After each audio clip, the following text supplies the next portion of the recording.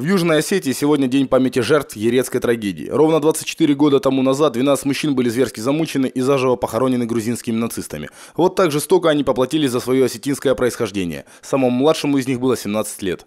За прошедший год народ Донбасса в полной мере испытал на себе все зверства украинских нацистов. Многочисленные обстрелы жилых кварталов унесли тысячи жизней. Сегодня мы продолжаем отстаивать свое право за независимость. Как делал это братский народ Южной Осетии в 91-92 годах.